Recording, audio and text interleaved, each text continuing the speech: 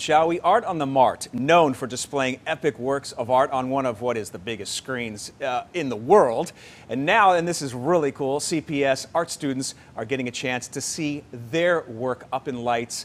Joining us now to talk about the Hope is a Light CPS program is Cynthia Noble, alongside Kendell Rasco, one of the student artists. Good morning to you both. Good morning. All right, so Cynthia, I'll start with you. You know, I, I, live in Naperville, I admit, and, and one of the things I hate about not living here in the city is I don't get access because I, I, you know, I, am not here at night. I can't see that those magnificent art displays. But tell us about this program involving these kids and how it came about. Sure. So we've been wanting to partner with Chicago Public Schools since the inception of Art on the Mart in 2018, and we're so delighted that we're able to do so this year. We feel like this is absolutely the right time, uh, given the the incredible challenges the students have experienced, as we all have over the last uh, couple of years. And uh, we're just so proud um, of these students who are demonstrating uh, their creativity, their boldness, and, and their willingness to display it uh, and their incredible resilience uh, again through these times. Uh, so we're we're featuring seven students from all regions of the district, uh, seven visual artists, I should specify, and uh, also the audio that accompanies the projections, which you can hear from the jetty section of the Riverwalk.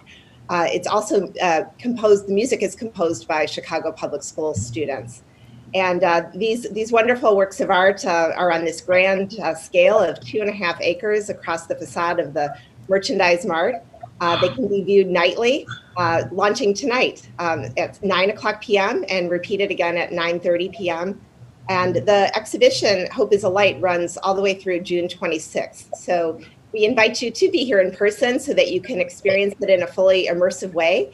Um, but if you um, aren't uh, commuting and returning to your commute yet downtown, uh, although we encourage you to do so, our, our, program is also available via live stream. Great, and great. you can find more information at artonthemart.com. You checked a lot of boxes for me. I, I, I got to move on to our young artists. Um, I hate being jealous. I hate being envious of anyone, but I am both uh, when it comes to you, Kendell, because I can't even draw stick figures. Uh, tell me what it meant to you to learn that you were one of the winners, and what sort of art are we going to be looking at when Kendell is featured? well, honestly, I was pretty excited when I found out. I was honestly just surprised, you know. Uh, I even like kind of like celebrated with my mother when I found out. We were super excited. But um, when you go to see it, uh, I was able to honestly make, you know, Angela Davis. I thought everyone needed to realize, you know, Angela Davis is someone important in our lives, you know, civil rights activist. Uh, I was able to, you know, I was hoping that when people looked at my art, they would be able to be inspired by her and all the things she did. You know. Look, I, I gotta, yeah, it's it's beautiful, and I gotta wonder. You know, there's only seven of you that got selected. What does this do for you? I mean, what's your goal? Where do you want to be after college or high school? Is, is this what you're going to be doing?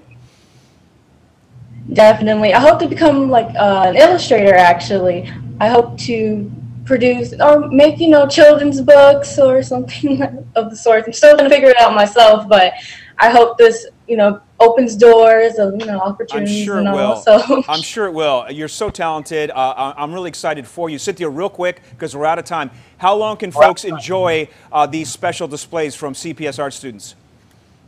Please join us nightly through uh, tonight through June 26th. All right. Well, thanks to you both. Uh, looks terrific. Good things to come, uh, Kendell, I know for you. Cynthia, thank you so much for the time. Here's the website for our folks at home. It's artonthemart.com. Thanks to you both. Thank you. All right. Still had a good day.